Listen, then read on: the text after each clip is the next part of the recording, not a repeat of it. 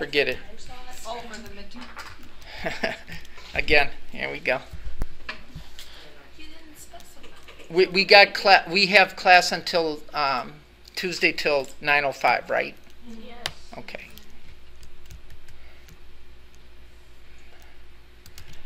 Six oh five. Who wants to come in?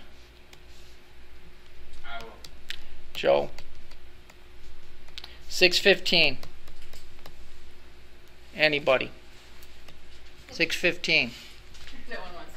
You can take a multiple. you can take a multiple guess if you like. If you're, if you're taking the multiple guess, you don't have to speak up. I just need a time for an oral.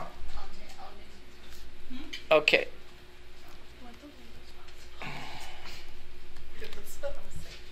Uh, 6.30, anybody? Anybody? Connie. Connie. 645. Do I hear 645?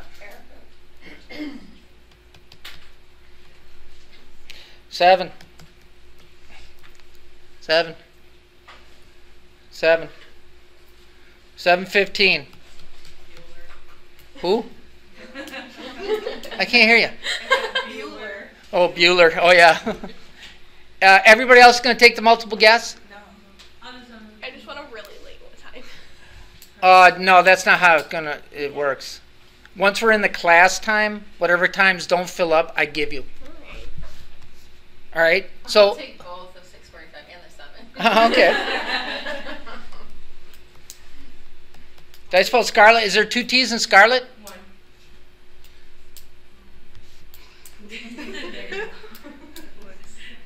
Seven thirty. Okay. Okay. Do that one. How do you spell your first name? E-L-I-S-A. E L I Elisa, right? Is that right? Did I say it right? That I like that. Seven forty-five.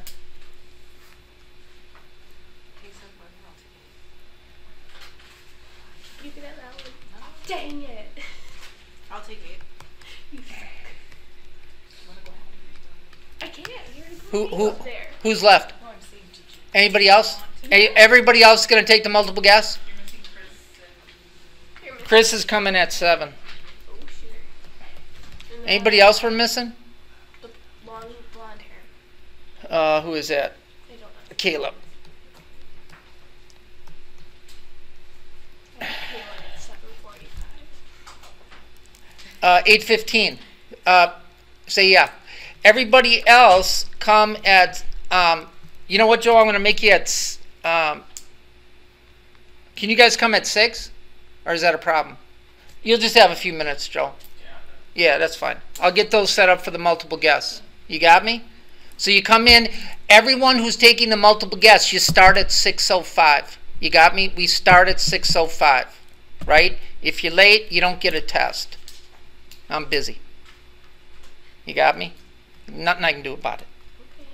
So they'll be taking a test while we do our Y- verbal. yeah. In the okay. in the same In this, yeah. What? In the room while we're doing it? No. Oh.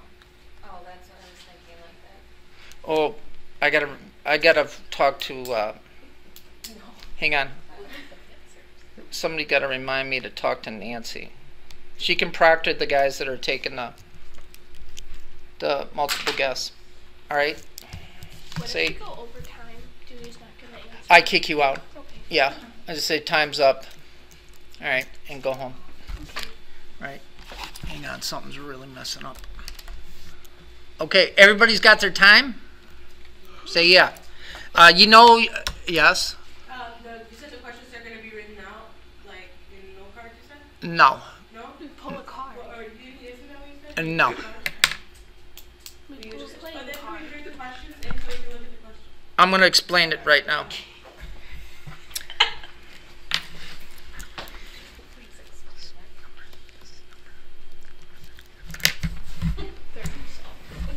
It's the thirty-seventh time I've explained it. Okay, watch. If you're taking the oral, you're gonna come in, I'm gonna have printed out all the questions on the midterm. you will have a stack of playing cards with pictures of a kidney on it. Okay? You're going to shuffle them up however you shuffle. If you want to do the bridge, you can do the bridge. if you want to. No, no extra credit for the bridge. Then you're going to pick three cards. You can pick one at a time if you like, or you can pick all three. You got me?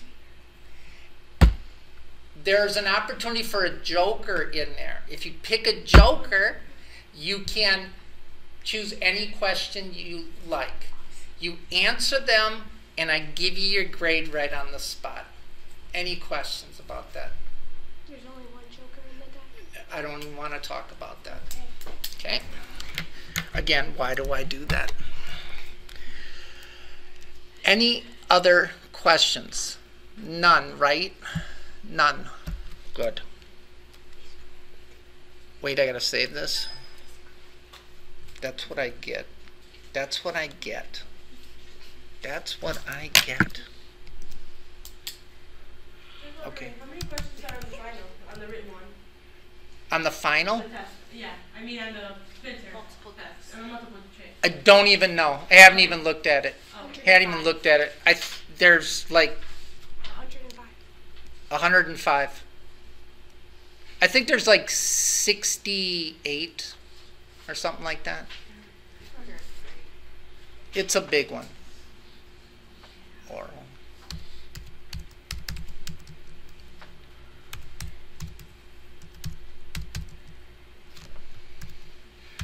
Okay, here we go. Here we go.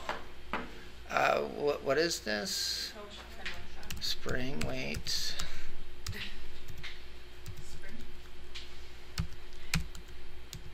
Yeah, it's, it's a spring semester, right? Yes. Is it? Yeah. Oh. What's that? Boy, I hope that saved it.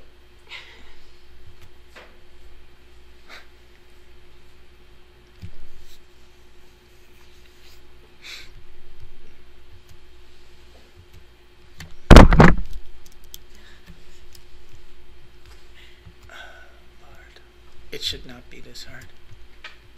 Ah, it saved it. It's all my fault. Okay, no questions. I am going to rip through this. I won't even take a breath. I'm not even, and we're talking about the respiratory system. You took a breath, do we get extra credit? All right, no extra credit. There's no extra credit on the respiratory slash kidney quiz. None, none. Huh? No Kahoot. We ain't got time for Kahooting. Hang on. Yeah.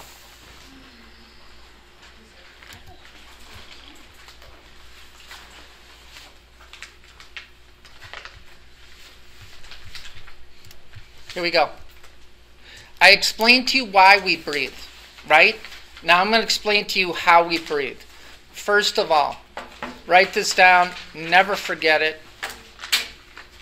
until the class is over. Then completely forget it.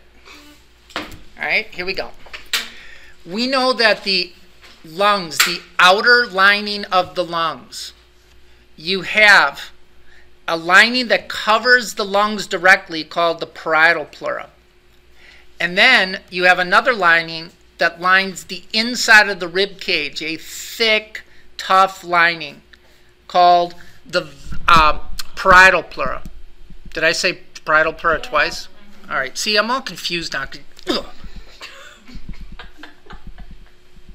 Visceral pleura covers the lungs directly. The parietal pleura covers the inside of the rib cage. Listen up because this is true. The visceral and parietal pleura of both lungs are separate. Let me explain. Not very long. Here we go. Son of a. Watch. You've got a visceral pleura. Hang on. Then you have the parietal pleura of the right lung. Watch it. Watch it. I'm going to make this these different colors. Is that a different color? No. So what? You just have to know it. The parietal pleura and the visceral pleura and the parietal pleura of both lungs are separate. Do you understand that? Yes. The parietal pleura of both lungs are directly connected to the diaphragm. The parietal pleura of both lungs are directly connected to the diaphragm. Uh oh, here's some chemistry coming at you. Boyle's Law. Boyle's Law states that if you increase the volume of your lungs, that will lead to a corresponding decrease in the pressure in the thoracic cavity. Watch it. In its relaxed state, the diaphragm is dome shaped. When the diaphragm contracts, it flattens out. What's connected to the diaphragm? Don't even tell, I'll just tell you. The parietal pleura of both lungs. So when the diaphragm contracts, it will pull the parietal pleura down and it will elongate the lungs. And as the process of elongating the lungs, what happens to the pressure inside the lungs? It decreases. And now atmospheric pressure becomes greater than the pressure inside the lungs, and air goes from high to low. That's how we breathe. We breathe by changes in pressure. Watch, I don't have one here, but if you look at a at a uh, skeleton, the ribs kind of go down at an angle, right? They're not straight across. So when you take a breath in, a deep, big, deep breath, right, like that, the ribs actually raise up, and that increases the anterior posterior diameter of the chest. So anytime that you're exercising, you got to get more air into your lungs. You're going to use the accessory muscles of ventilation, which include the intercostal muscles, sternocleidomastoid muscle. Those will raise the rib cage and increase the anterior posterior diameter of the chest, increasing your lung volume. So at rest, if someone's using the accessory muscles of ventilation, they're in trouble. Say yes. Okay, here we go. You are recording, right? Just to, Oh, I don't think I am. Oh, yeah, I am. oh, God. Here, watch. Watch. And believe it or not, I hate to say this, but everything I'm telling you right now, Is it in the textbook? it's in your book. Ugh! That evil. Probably wonder why there's a bucket there. I'm wondering too. Watch. That's how the ribs lay. If you lift the handle of the bucket up, the handle moves away from the bucket. So that's how you increase the anterior posterior diameter of your chest. Because the lungs are at an angle. Say yeah. Keep. All right. Here we go. Want this whole thing.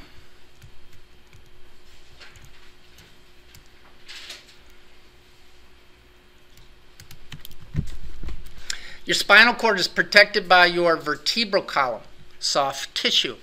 What's part of your brain that controls breathing? Don't even tell me. I will tell you. It is the medulla. You got me? Medulla is in the brain stem.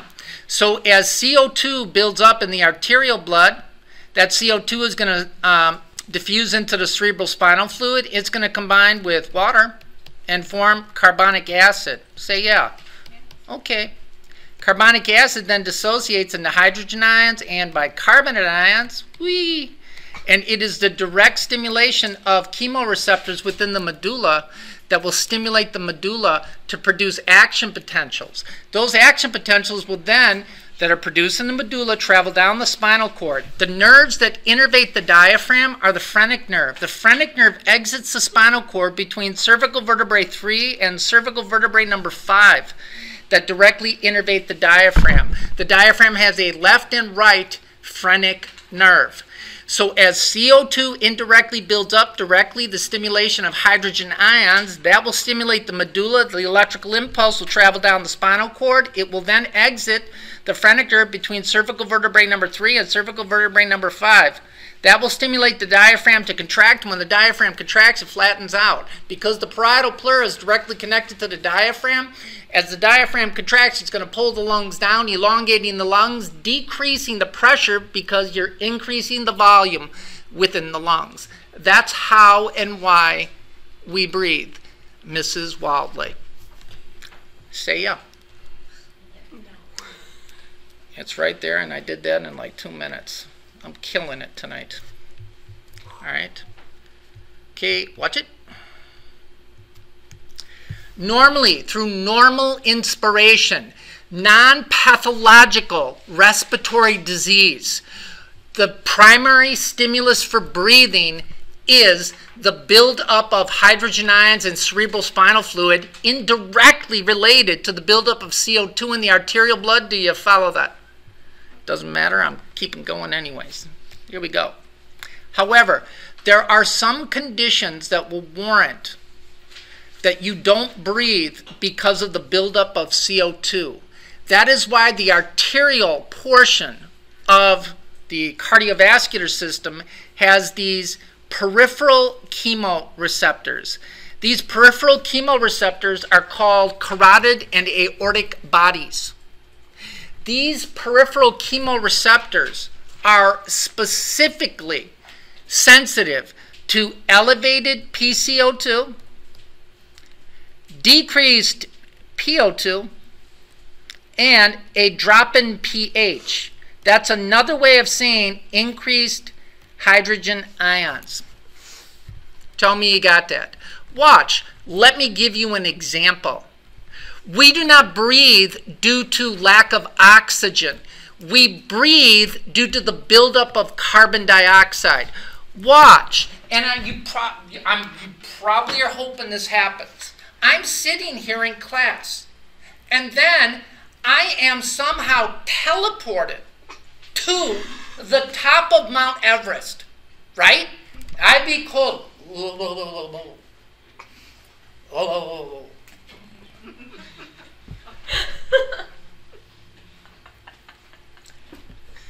Watch. If I'm sitting here, you got me? I'm making a certain amount of carbon dioxide. That's going to determine my breathing rate. Say yes. If I go up to Mount Everest, what's going to happen to the amount of oxygen in the atmosphere?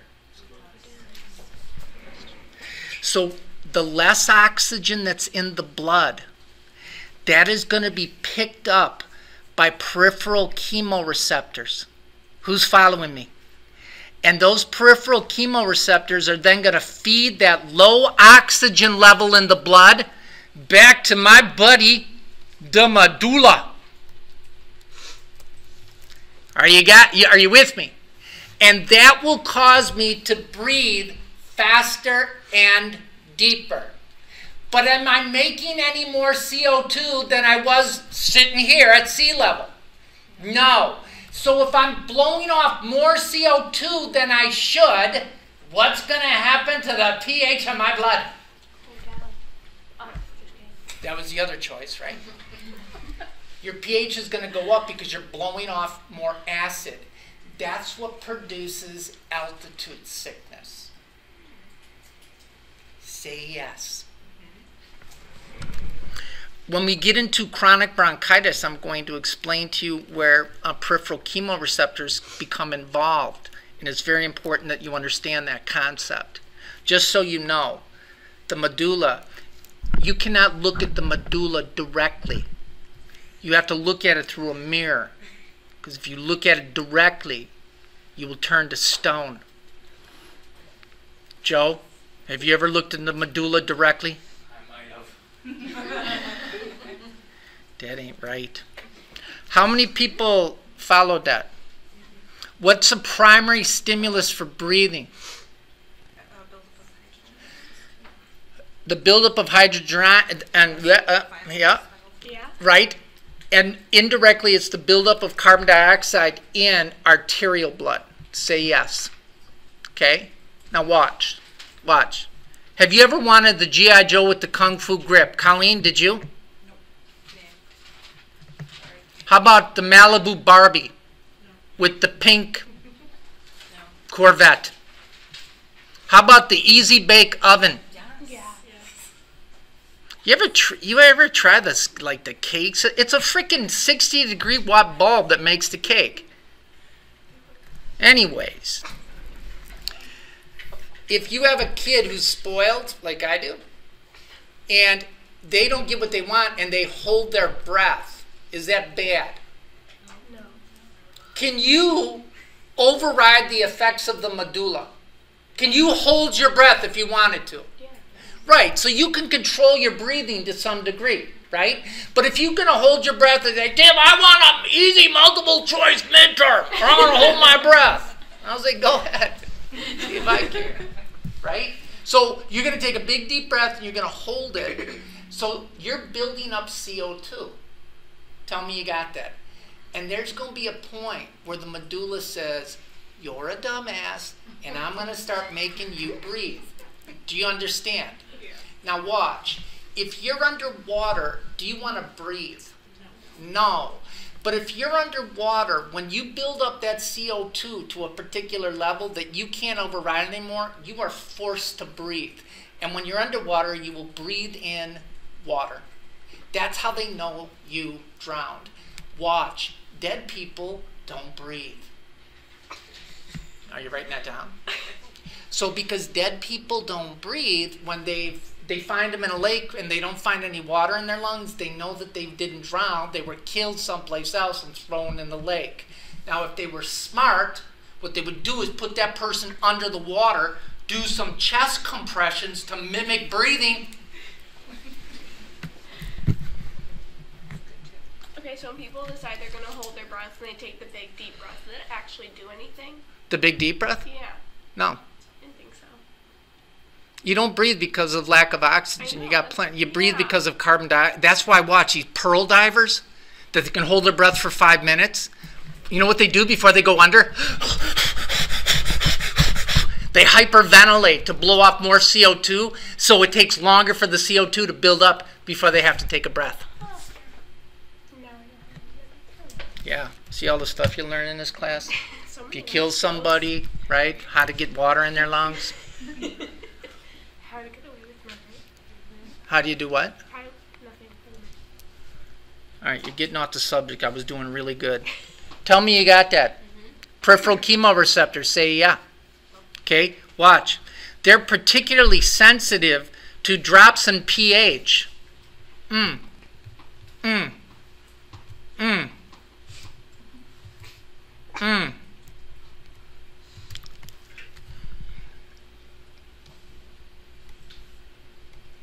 Come on. I need a new pen. Can I tell you the story real quick? Real quick? Uh, can I or no? Yeah. I forget it. I saw Sarah. She she wanted no part or no story. Okay, here we go. If you can tell me what I'm going over, I'll give you extra credit next semester.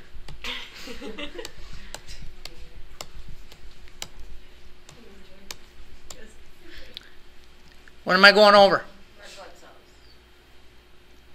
No. Blood value.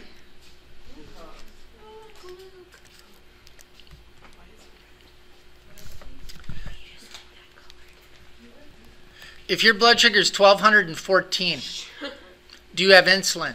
Nope. If you don't have insulin, can you get glucose from the blood into the cells? No. No. What does your liver cell think? You're hungry. You're an idiot, yeah? The liver cell thinks you're starving because the liver is not getting any glucose. So the liver cell thinks that you don't have any glucose in your blood. Tell me you got this. Who's following this? Mm-hmm. Right? So when the liver thinks you're starving, the liver knows that the only fuel the brain can use is glucose. Ain't that right? So if you ain't got no glucose, the liver starts taking fat and making what? How soon we forget.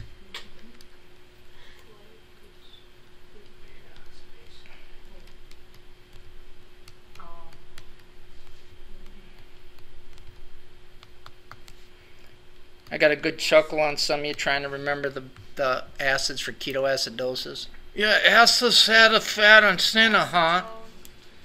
Yeah, acetone. It's the only one I know. Nail polish. Yeah, that'll help you in clinical. And aceto acetic acid. What are those? Come on. For real? They're the ketones. Say yeah. And those are going to get dumped into the blood. Say yes. What's going to happen to the pH of your blood? What are peripheral chemoreceptors stimulated by? So, as the hydrogen ions build up in the blood due to ketoacidosis, what happens to the rate of breathing? That's why you get the Kussmaul breathing.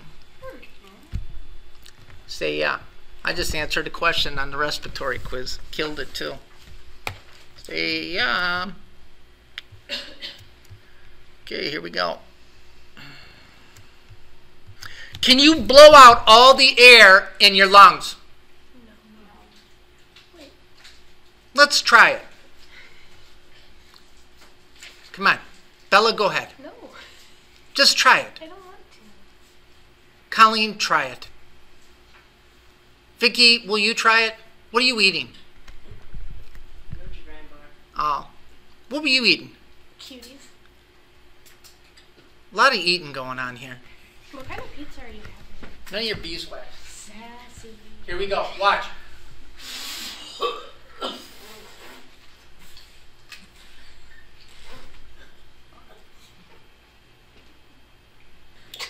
Can you blow out all the air in your lungs?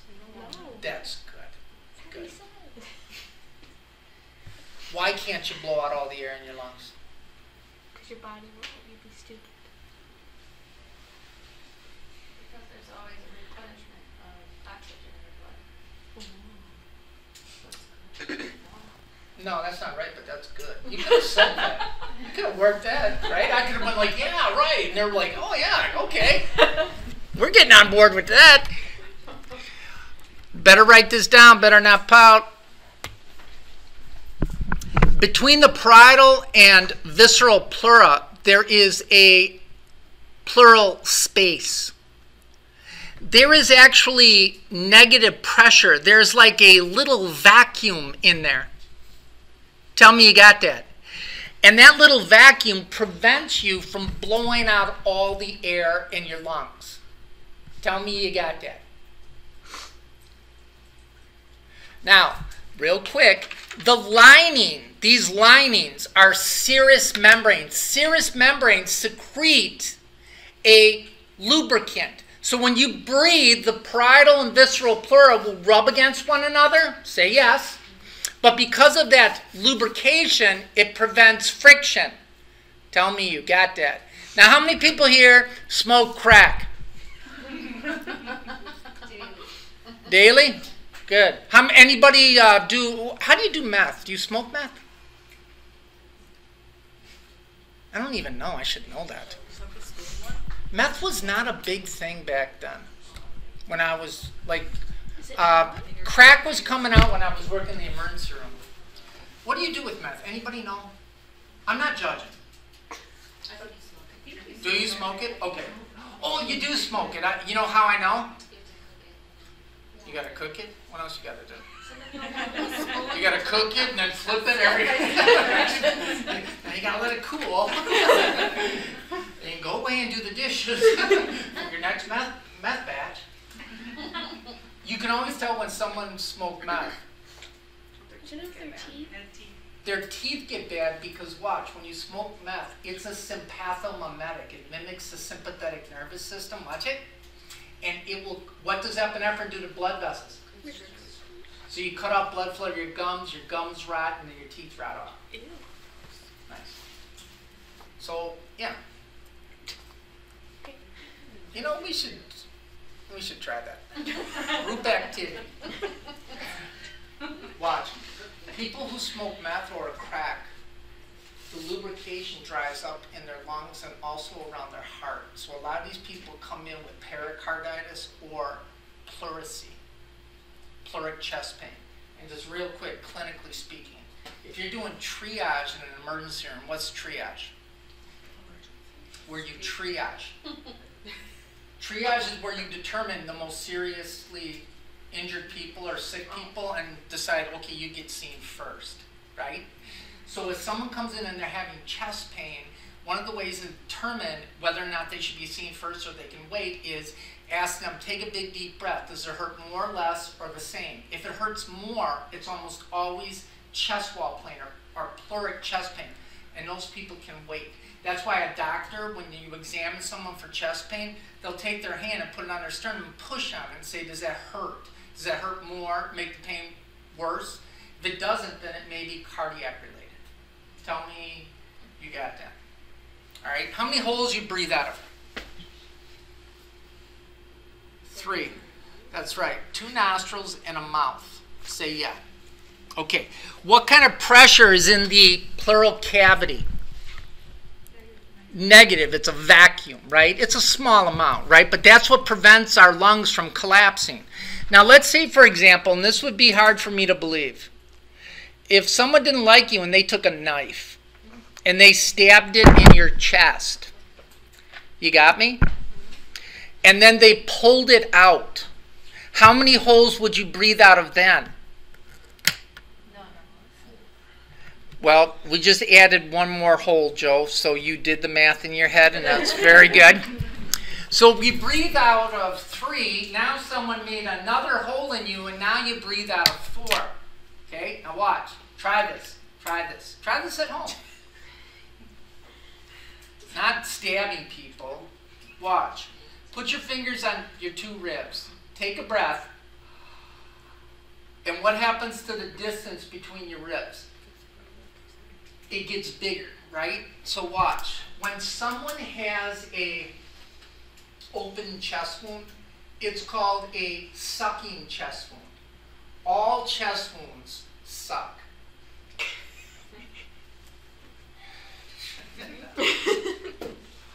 so watch. If somebody takes a knife, stabs you, pulls it out, wipes the blood off, and then ambulates home, when you take a breath in, the distance between the ribs increases. So it will open up that hole and air will get sucked into the pleural cavity. What happens to the distance between the ribs when you blow the breath out? It gets smaller, so the hole gets closed off. So every time this person takes a breath, air is going to get trapped in that pleural space and it will begin to crush the lung. So every time they take a every breath they take, I'm watching you. every time that they take the breath in, that air will build up in the pleural cavity and it can't get out. Do you understand that? That's called a tension pneumothorax, and it is life threatening. That's why if you see somebody and they got stabbed with a knife and the knife's still in, do you pull the knife out? Watch. Here's why you don't. Do you know why you don't?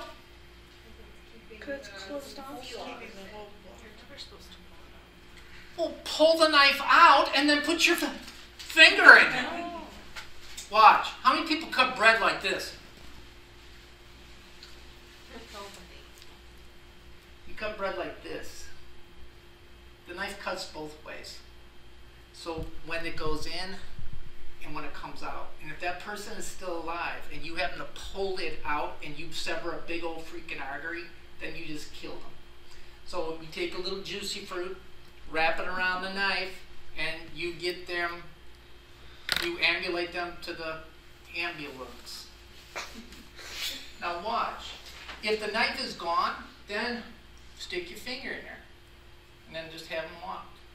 Have the, put their finger in there. Here, buddy. Go. You got that a real suggestion or is that? I know. sarcastic? You don't put your Watch. The best thing to do is to cover up the hole. if I had time, I can show you how to make a homemade one-way air flap for someone uh, with a tension pneumothorax. I don't have time though. But no, what you want to do is you want to cover up. No, you want to cover up that hole. You do because every time they take a breath in, the air getting trapped in the pleural cavity, that is what is bad for them. Tell me you got that. So here's dude. Watch. X-rays are really good at looking solid material. That's why they're really good for bones. Bones are solid. You should write that down. If X-rays are not absorbed, they show up as black on an X-ray. Is air dense? Do you have to? the air is real dense. So it's going to show up as black. So the, this this dude's heart, right? So this is what's left of his right lung. So he got stabbed. You got me. Somebody pulled it out, and then they were nice enough to actually mark the hole and show the air going in. So this guy's got a severe tension pneumothorax. Look what's happening. This is the endotracheal tube. His trachea is supposed to be over here. So all of this air, and his heart's getting pushed over, and this is what's left of his left lung. So all of this is air trapped in his lungs, and it's pushing and it's crushing his heart. And when you crush the heart with air and the heart can't fill, it's called cardiac tamponade. Cardiac tamponade is what's really, really the killer for people with a tension pneumothorax. Have you heard of cardiac tamponade? Yeah, in ER they talk about it all the time. Oh, really? Yeah. Yeah, we'll big one. Watch. This is a chest tube that they put in. And how you fix a tension pneumothorax is you cover up the frickin' hole, then you put a chest tube to suction, and you vacuum out that air. Then every day or so you get a chest x-ray to make sure that that lung is reinflated. Tell me you got that. So is that like a, a collapsed lung? That's a collapsed lung. But but this is worse than a collapsed lung because it is air is getting sucked in. There are people who suffer with what's called spontaneous pneumothorax, where the parietal pleura will actually rip away from the uh, wall, the chest wall, and it will begin to compress the lung. That's a spontaneous. That's not life-threatening. It can be, but not like a tension pneumothorax where you keep building up pressure in there because there's no hole in the chest in a spontaneous pneumothorax. It's just a collapsed lung, and but they have to do the same thing, chest tube to suction. So if it tears away from the wall, is that like a hereditary thing? It can be like people with uh, autoimmune conditions like sarcoidosis. Uh, they can get uh, spontaneous pneumothorax. People who've done uh, underwater diving, they can get uh, because of uh, the bends. They? Yes. So it's usually uh, um, it's usually some type of condition. You, you shouldn't be, you know. I, hey, I went to Kohl's today, and as I was looking at blue jeans, I got a spontaneous pneumothorax. Right? It shouldn't happen like that. Let me show you this. I have to do my due diligence most days. Come on, you. What the? Can't even see. And it's always good that I make the font really small. That really makes a lot of sense.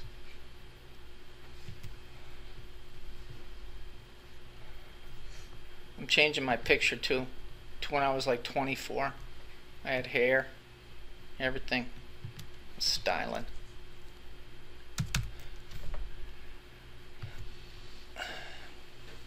Okay, this is in, uh, did I show you this? This is in Russian, so I'm going to interpret for you.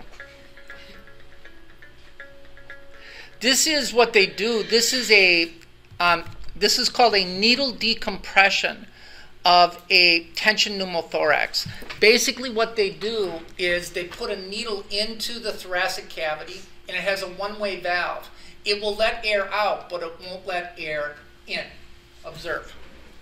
And you'll actually see the lung inflating.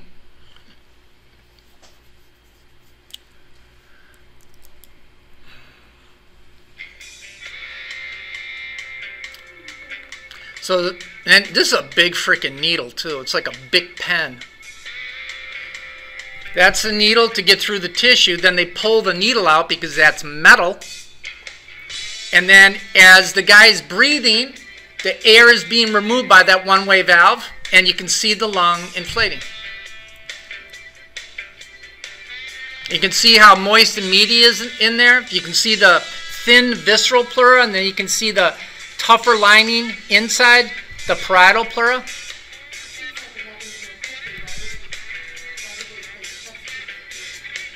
But they have to make sure it stays inflated. What's that? How is that not going to go on? Uh, that's plastic. That's why they take the needle out. Watch, it'll bend. It, it'll bend. Watch.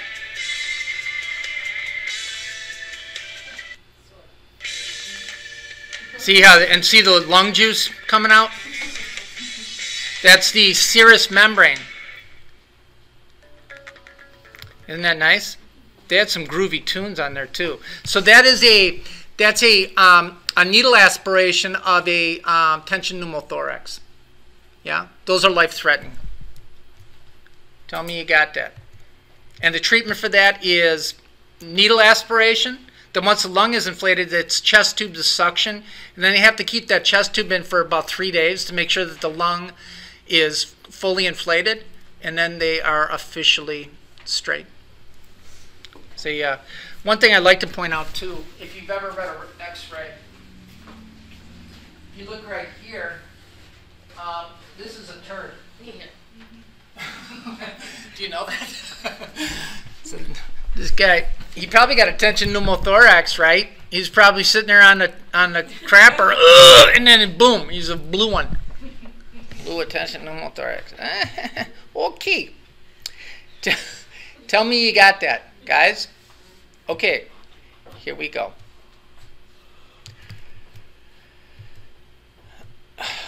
All right, I'm going to explain to you right now how oxygen and carbon dioxide are transported in the blood. I want this whole thing. All right, Bella, if you get this right, April will take you to the Moose Lodge and buy a chicken burrito. She's probably got more money than me. Whatever. Ready? Can you dissolve a gas in a liquid?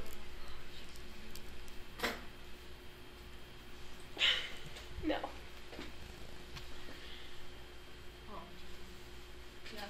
Joe, can you? Yes. Yeah, you can. You can. Right? Okay, get this right. What's this? Well, what's the number? what what is that? Does that number mean anything to you? 15 weeks of a chemistry class. And that doesn't mean anything to you.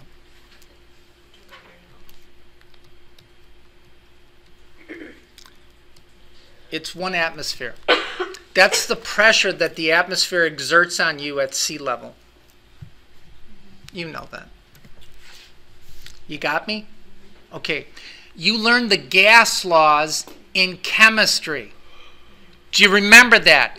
Does anyone, and I am totally spitballing here, Yes. what's Dalton's law?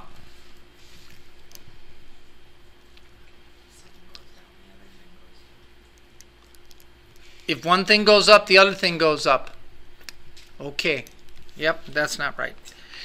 Uh, Dalton's law is uh, the law of partial pressures. Let me explain it to you. Dalton's law of partial pressure states that if you have a mixture of gases, that total mixture of gas exerts a pressure. Okay? So the total pressure of a mixture of gases is equal to the sum of each partial pressure of that gas mixture. Can I explain that to you? Because that didn't make any sense, did it? Okay, here we go. The total atmosphere pressure is 760 millimeters of mercury. Tell me you got that. What's air made out of?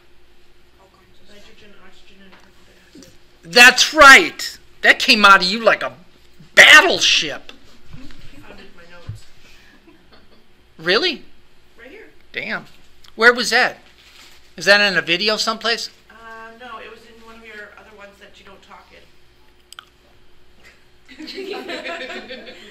Those are good videos. Those are the old time movies, the silent movies. Those are the best. Here we go. So watch. Air is made of nitrogen, oxygen, and carbon dioxide. Nitrogen, when it's referred to the respiratory system, is like many of the students in my class. Their nitrogen in the respiratory system is inert. It, the amount of nitrogen you breathe in is equal to the amount of nitrogen you breathe out. All nitrogen does in the atmosphere for you is take up space. Tell me you got that. Oxygen is 21% and carbon dioxide is 0.03%. So it is negligible. Okay, now watch, watch. What did Dalton's law say? I'll tell you. It said that the total pressure of a mixture of gases is equal to the sum of each partial pressure in that gas mixture. So what is air mostly made out of? What's 79% of 760? Stop me. I'm doing the math for you. So the partial pressure of nitrogen in the atmosphere is 600 millimeters of mercury. What's the partial pressure of oxygen? Well, I'm going to do that for you. 160 millimeters of mercury. Are you with me? And then the PCO2 is zero. So if you add up 600 and 160, you get 760. Say yeah. Okay, I'm going to simplify it even further. Bella, can you dissolve a gas in a liquid? What is the blood mostly made out of? Water. This is advanced. I need a little more advanced answer. Guys, that's more advanced.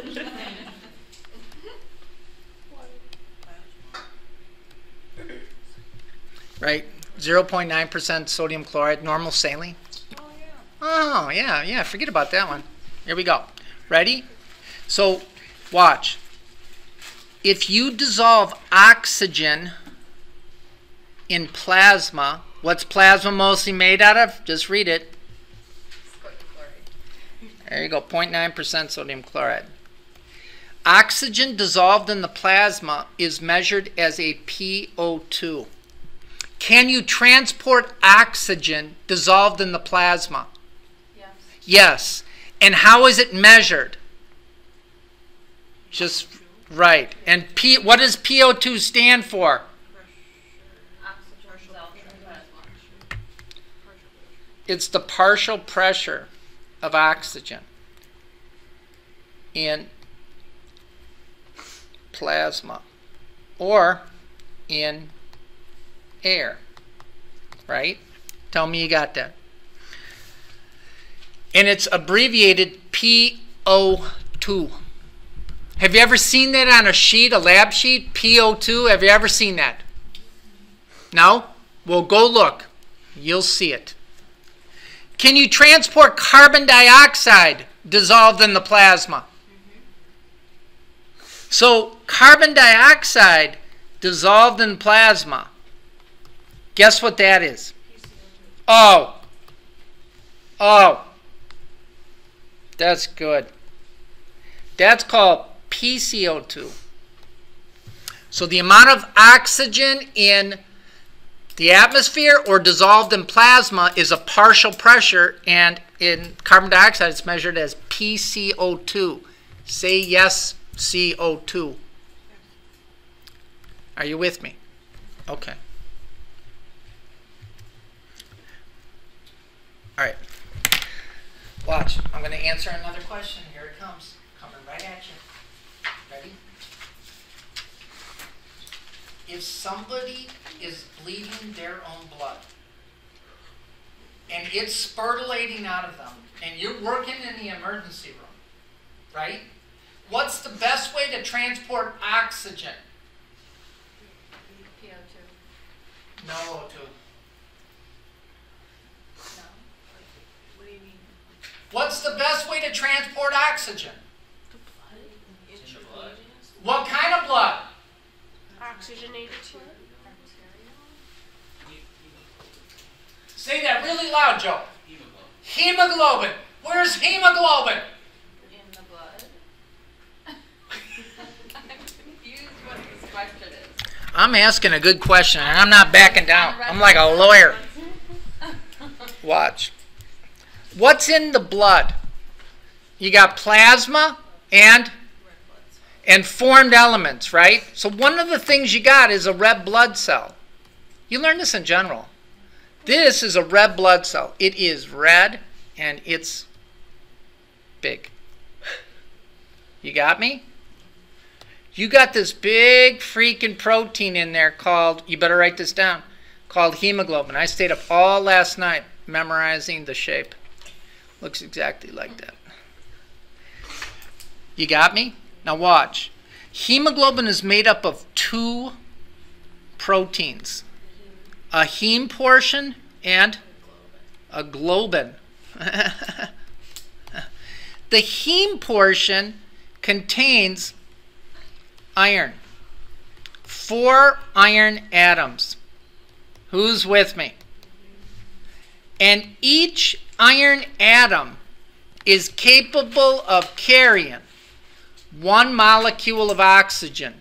So, how many molecules of oxygen can one hemoglobin molecule carry? That's very good because you did four times one, huh? Did you do that in your head? That's good. Are you with me? That's why blood is red. If you got a hoopty, right? You got some paint chip on it, there's iron in there. And when the oxygen hits the iron, it turns it red. That's why blood is red. If you are Vulcan, you don't have iron in your hemoglobin, you have copper. That's why his blood is green. You liked that one, didn't you, Erica? I have no idea what you're talking about. Good. That's why you liked it. Okay, now watch. This is the kicker. You better write this down. Better not pout. Each red blood cell doesn't have one molecule of hemoglobin. It has 250 million molecules of hemoglobin. So, how much oxygen can one red blood cell carry? That times four. That times four. That's very good. That's a billion molecules of oxygen. Say yes. What do women do once a month? Besides complain and never good enough. That's more than once a month. Amen. No, you're going to get extra credit. Okay. What do they do? Menstruation. They have their menstrual cycle, right? So, what do they bleed? Blood. their own blood. You got me? And when you bleed your own blood, what are you losing? Iron. That's why a lot of women, when they're before they hit menopause, they get that iron deficiency anemia because of the heavy periods. Say yeah. You're following me. And how do you feel if you don't have enough oxygen transported to your cells, Bella? Crabby, tired, whiny. Yeah. Yeah. Real cranky. Get away from me. Don't touch me. I need my me time.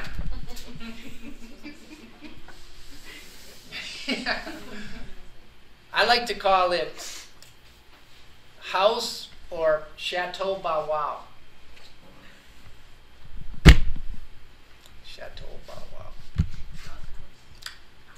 wow. How many people got that? Who, who's with me? What's the best way to transport oxygen in your blood? Bound to the iron on hemoglobin. Say yes. What's another way to transport oxygen? PO2.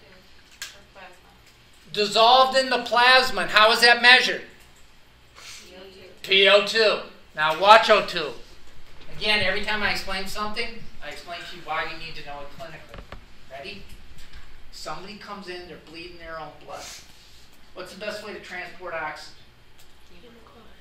You learned in general that there are different blood types, right? Can you look at somebody's blood? Is this sperlate? That's A negative all day. You can't do it, right? So it takes time to find out what the person's blood type is, and then to get the donor blood, and then to give it to the person. In the meantime, the person's dying.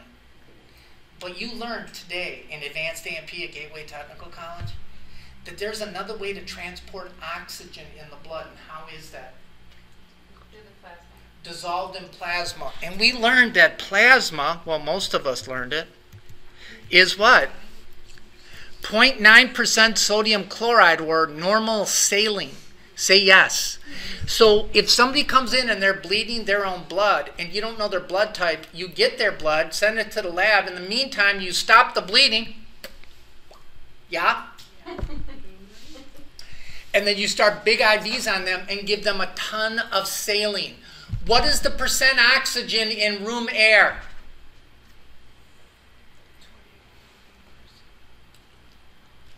Twenty-one percent. Do you want to let this poor sap breathe twenty-one percent oxygen? No. no. That's why you slap on a big mask, right? Or if they're going downhill, you intubate them and you give them hundred percent oxygen because you want to maximize the amount of oxygen delivered in the plasma until you can start giving them the correct blood. Do you follow that? Yes.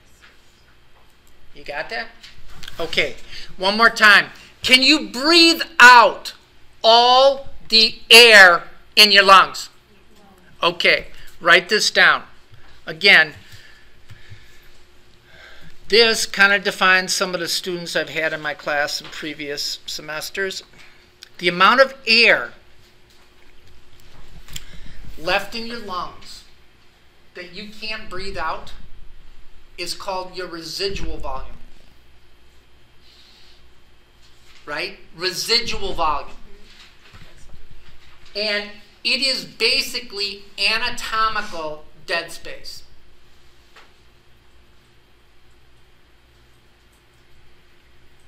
Are you with me?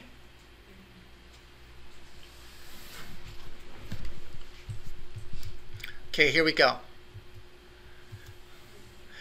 Very few times I've asked you to learn numbers. You're going to have to learn numbers now. You got me? This will, well, I'm not even going to say it anymore. Do you see that screen the way it bounced? That was really cool. Maybe it just bounced on your screen or mine. Probably from the meth. Ready? I'm going to label this.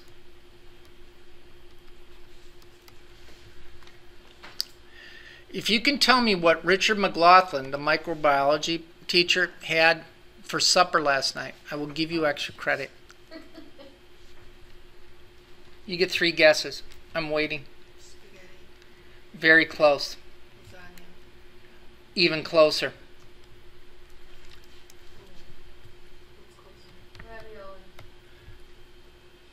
That's right, ravioli. How much extra credit? Dang it, I should have asked that before. I'll give you uh, I'll give you 20 points of extra credit, everybody. Isn't that nice? Yeah, I didn't think you'd get that. You went on the Italian theme and you just rolled with it. That's good. It rhymes with That's why I thought of it. See, you should have thought of it. Ravioli, alveoli, ravioli. Here we go. Ready? Ready? Watch. Where does all venous blood get dumped into? Where does the right side of the heart pump the blood to? Is it oxygenated or deoxygenated? What's one of the ways that you transport oxygen in the blood? What's another way? PO2 dissolved in the plasma. You better write this down. The PO2 of venous blood in a resting metabolically inactive adult is 40 millimeters of mercury. This is the venous blood that's being pumped to the lungs to get oxygenated. I am spitballing again. But what do you think the PO2 of the alveoli is? Is it higher than 40 or lower?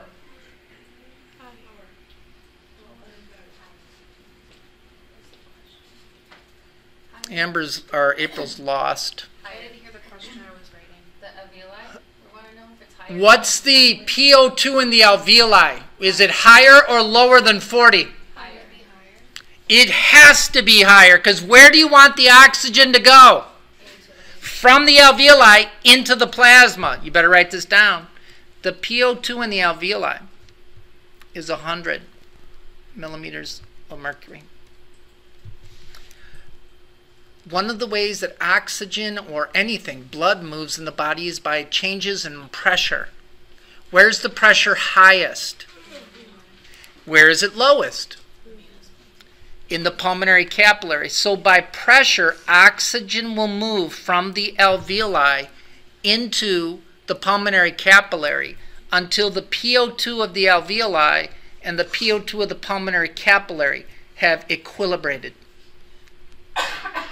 Good word.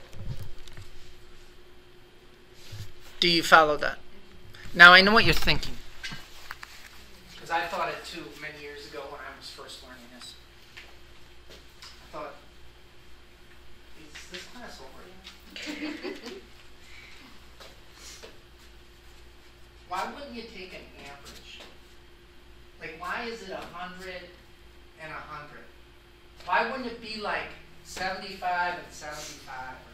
Do, you, do you know what I'm saying? No. Do you understand why it's a hundred? Because that's what you need to get through the heart to the cells. No, but why is the PO2 here a hundred and here a hundred? Because you Like- want the max amount. Maybe I shouldn't even have to explain this if you got it. Do, do you? No, explain it. Explain it. You gave that. You gave me the look. That's why I got up. Yeah. Do you understand? No, I'm serious. You had a look like. It's, uh, yeah. You asked a question. I thought we were supposed to answer it. Right, No. but no, no. What I'm asking is, watch. If you want, you the PO2 here is 40. Yes. You got me? The PO2 here is 100. Yeah. You want those to be equal, right? So by pressure, oxygen is moving into the pulmonary capillary. So that PO2 should be dropping, shouldn't it? Shouldn't it? No, because you're But isn't at the same time. What you're did you say? bringing it in. What did you say? You're still breathing. You're still breathing. Yeah. Watch. Watch. You have 500 bucks in your bank account. Anybody that lucky? Watch.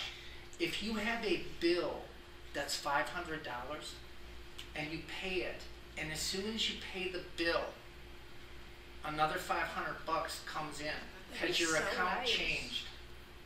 Has your account balance changed? So the reason the PO2 is 100 constantly is because you are constantly breathing and replenishing those alveoli with a PO2 of 100. Do you see that?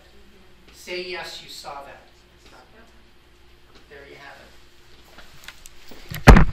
Please get this right. Where does all this newly oxygenated blood go? To the left side of the heart. And where does the left side of the heart send the blood to? All the cells. Of the body. And where's the only place in the body that nutrients and gases are exchanged? You're just like a machine tonight. Maybe this is room. Maybe it's the air. Maybe there's a higher PO2 in this room or something. Watch. Watch it. Watch it. The PO2 inside a cell is 40 millimeters of mercury. What's the PO2 in the arterial end of the capillary? 100. That's exactly right. So in this picture, where is oxygen going to go and why? It is going to go from the arterial end of the capillary into the cell by pressure and sit at the end of the electron transport chain and say, yeah. What's the PO2 of venous blood? 40. Who's with me? Why is it 40? Because blood is continually circulating to that cell with a PO2 of 100. huh? Say yes. Where do all the veins of the body dump their venous blood? Right side of the heart pumps that blood with a PO2 of 40. The alveoli, PO2 of 100. Bam. Uh-huh. Uh-huh. Uh-huh. Say yeah.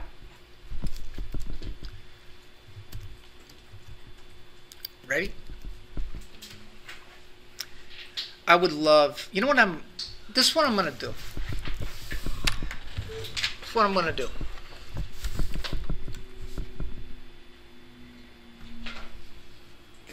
Going to have you read. I'm not joking.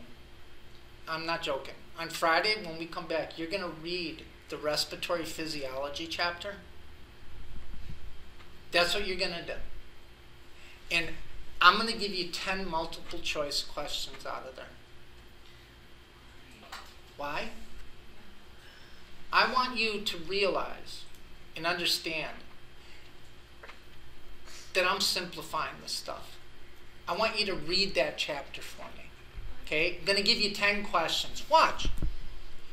If you get a higher grade on that 10 question quiz than any of your other quizzes, which, you know, maybe for you it won't be that big of a deal. If you do that, I'll give you that grade as a quiz. 10 questions, 10 multiple choice. Give you 10 minutes to answer the 10 questions. And if we vomit, it does not affect Doesn't affect your grade at all. Right?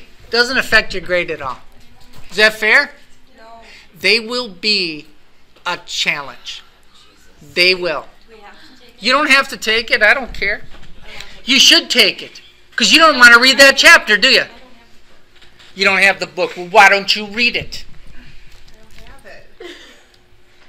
You guys don't read it. Nobody reads the textbook. How many people read the textbook?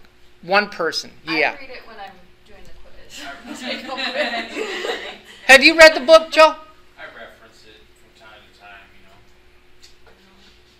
know. Not really. The pictures are. the pictures are fantastic. You guys don't even look at the pictures. There's a cool thing in the middle that like breaks down the whole body. No, okay. I'm gonna tell you something. I just talked to a. Uh, do you see that? Did you see the screen move? Oh, maybe it's only doing it on my computer. Uh, I told you. I told you, but they got that flipped classroom going. Told you about that, Yeah, in the nurse. right? So this is what you do. Your class time, the teacher don't teach it, right? You look at and read the book, and then you come in and you discuss stuff. So guess how long class time is? It's two minutes, right? Because you have nothing to discuss. Because you haven't done any of the reading. I'm actually doing you a disservice. I need you to read that textbook. And you won't. You know why? You guys are haters, all of you. Here we go. What's the best way to transport oxygen? What's in the heme portion of hemoglobin? What does oxygen bind to? How many uh, irons does each hemoglobin have? I'm only putting two because I'm tired. You got me? Watch. Now I'm going to put four. There's a reason I'm going to put four.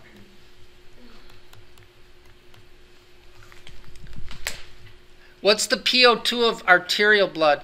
Or uh, PO2 of the alveoli? What's the PO2 of venous blood? Boom. Watch. Where's the oxygen going to go by pressure? Until it equilibrates. Say yes.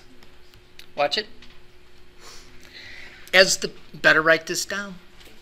as the PO2 increases in the plasma, that increases oxygen's affinity for binding to the iron on hemoglobin.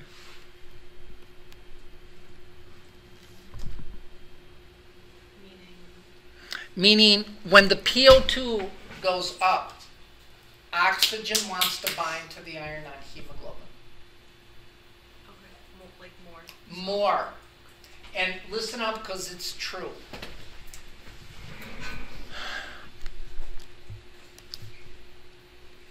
What's the saturation of this hemoglobin? What's it? Well, now it, it's not even hemoglobin anymore. Would it be 50? It's 50%, right? How many oxygens are bound? How many can it hold? Okay, we're going to do some more math. What's the saturation? 75. You got me? Now watch. At a, a normal PO2 in the lungs, at a normal, I'm going to say it real slow. I'm going to say it real loud too. Hello? At a normal PO2, when the red blood cell comes in contact with the alveoli, in the pulmonary capillaries in the alveoli, the PO2 is 100. By the time all of those red blood cells leave the pulmonary circulation and go to the left side of the heart, 96 to 98 percent of every iron on every hemoglobin has an oxygen bound to it. Is that when they do the thing on your Yes. finger, and that's what they're looking for? Yes. So when you do the little fingy thing for a patient, you are measuring the amount of oxygen bound to the iron on hemoglobin. Say yes. So you're measuring, I'm writing it out, O2 saturation of red blood cells. What's the best way to transport oxygen? Hemoglobin. What's hemoglobin? Hemoglobin. It's a what? It's a protein.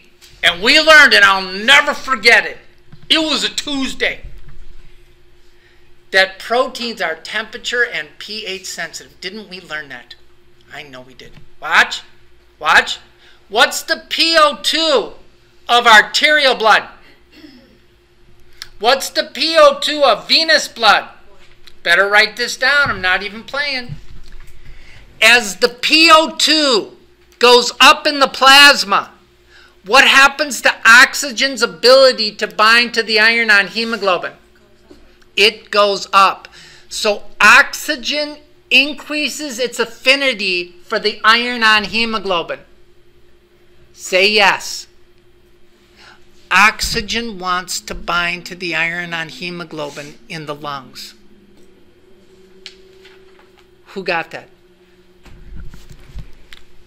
Why? Because the PO2 is going up. Where does all that venous blood go? And where does the right side of the heart? Did you say? Yeah, I caught that one. I was going to be like the other day when I was agreeing with uh, Erica and she was saying wrong stuff. Remember that? Never forget that. That was definitely a Tuesday. Watch.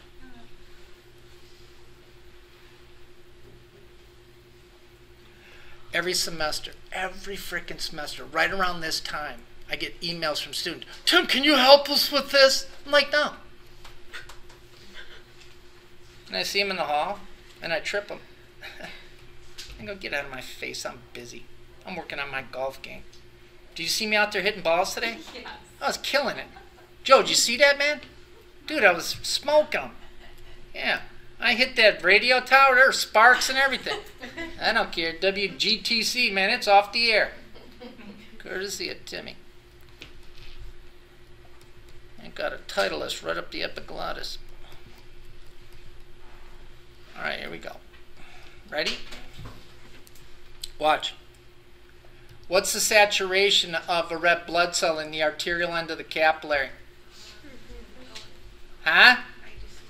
Right, we're gonna make it hundred percent, because I'm not drawing like all those hemoglobins. You got me? What's the PO2 of arterial blood? No, it's not. Arterial blood, look, the A. A hundred.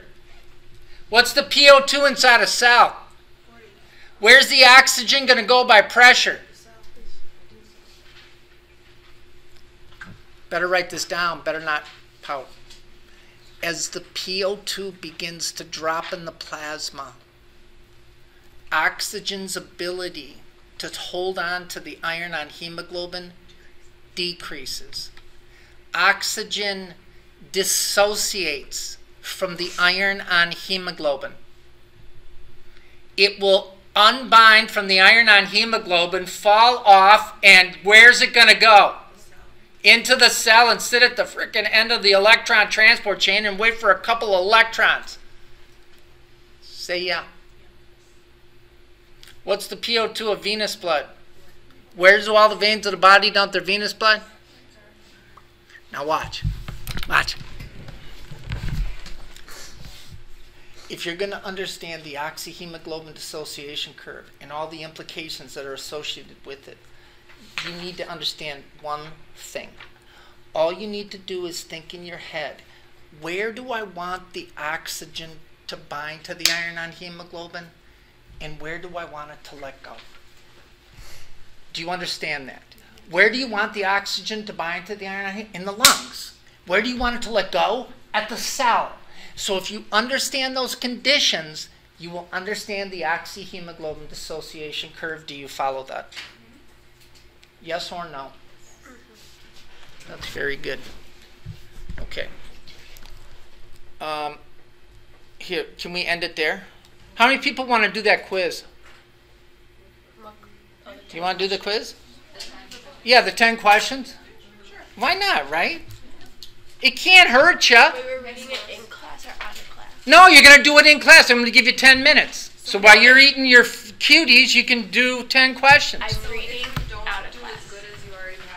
it's not going to hurt you. All I can do is help you. But if you didn't read the chapter, the respiratory chapter, right? So we're not we're going to do it not not Tuesday, Friday. Oh, it's a long time. And it won't count if you do worse than you're Oh god. No, no. It'll count 110% of your grade. 10% of your microbiology grade. Have you taken microbiology yet? summer. All right, I'm going to tell who's ever teaching it. Well, 10% of your grade's an F. What are you taking? That's six week night course from four thirty to ten at night. Wow.